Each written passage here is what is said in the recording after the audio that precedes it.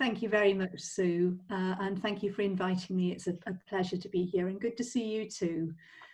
So, Prynhawn um, good afternoon everybody. My name's Sharron Lusher and I am the High Sheriff of Dyfed.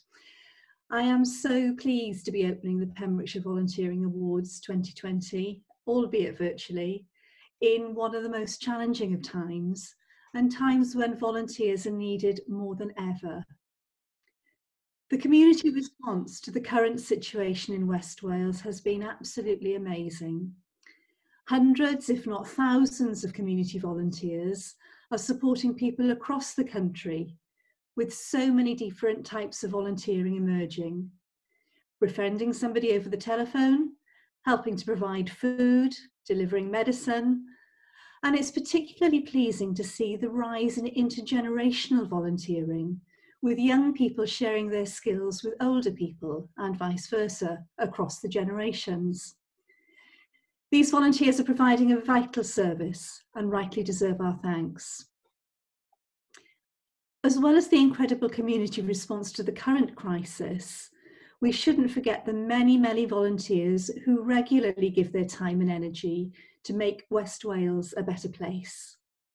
So much just wouldn't happen without you. Some people are able to give a few hours when they can, and some dedicate a lifetime. Unfortunately, a number of people cannot take their normal volunteering tasks at this time but they will no doubt be looking forward to a time when they can resume their activities. These volunteers and the organisations that support them along the way both deserve a big thank you. As the COVID-19 crisis changes somewhat over the coming months, it will be particularly important to continue with our support and encourage more people to carry on helping out in their communities and getting involved in volunteering. Let us encourage lifetime active citizenship, kindness, and compassion in our communities, with people of all ages giving of their time to help others in whatever ways they can.